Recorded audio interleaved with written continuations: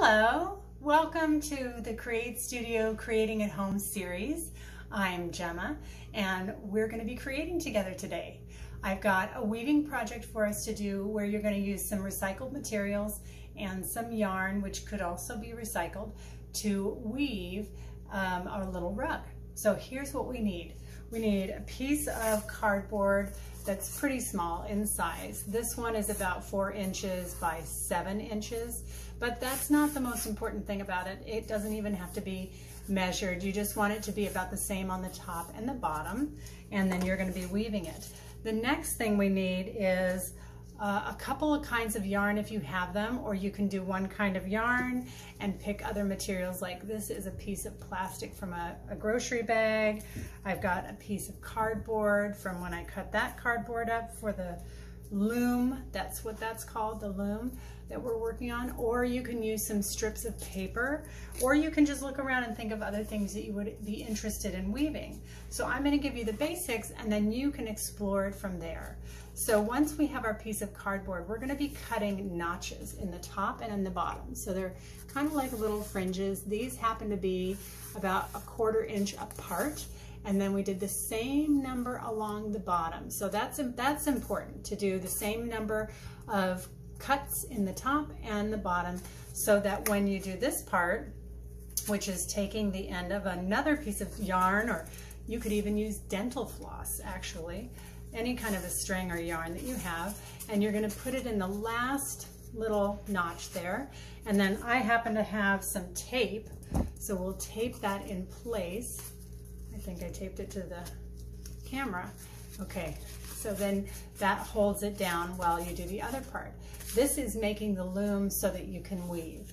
Then you're gonna go in from the top notch down the front to the bottom notch, and you're basically wrapping around the piece of cardboard to create these strings. And we'll just go around and around and around. So you want to go around a whole bunch of times until you get to this stage where I have already been doing some weaving with yarn. And I'll show you a step or two here, and then you can explore it on your own.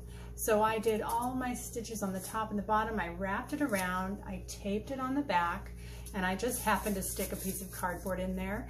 You can notice that when you're weaving, the process is about combining two things together in a series of steps that is kind of interlocking them. So we're going under and over and under and over and under and over and under and over, just repeating that pattern as you go across.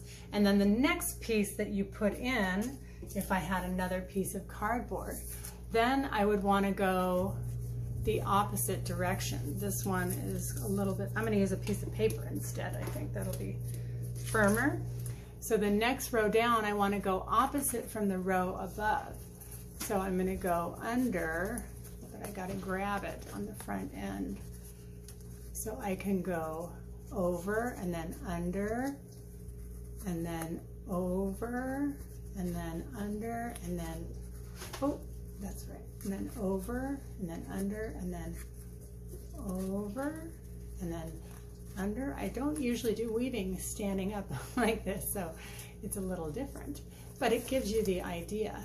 Now the paper is woven and it's in the opposite direction than the piece of cardboard that's above it. So you can use paper for weaving and that would be like a placemat. I also have this piece of plastic so I can go, um, with these kinds of materials you don't really need something like a needle for string, which just makes it more convenient, really, but it's not 100% necessary. So this one is kind of a slippery one. So I'm just going under and over so that I can go across on this one, doing the opposite of what I did on the row above. So you always want to be opposite of the one that you just did before. So you get the idea on that. And then I have my yarn. So I've actually done several, probably six rows or so here across the bottom. And I took a toothpick and some tape and I attached that to the bottom of the yarn so that it would be easier for me to go through. And that is, you're going under and over and under and over again, but the needle is a little short, so we have to bring it part way and then go back and get the rest. So we've got our extra yarn piece here, and then you just pull it softly. You don't want to pull it too tightly because it'll pull all the yarn in. So if you want it to have a rectangle shape, then you would want to be really soft uh, when you come around to the edges. If you do want it to be pulled in, then you would pull it in really hard. And I'm just gonna finish up my row here so that I can leave you with this. Then you can take all of your different pieces. Let's see, we got that one. We got almost done. I'll just finish this up. There we go. And then I can scoot that down and mix it into the one above. I can do that with this piece too and this piece too. So you could do different materials. You could do a pattern of yarn and then a different material and a different material and then yarn and a different material and different material if you want. So then the way to finish this is you would then take your scissors and cut across the back to get all the pieces undone. But instead of taking them off, this is when you're completed and you're, you've made it as long as you want to. Then you're gonna take two pieces and you're gonna tie them together like when you're tying shoes so that they can make a knot. So you'll tie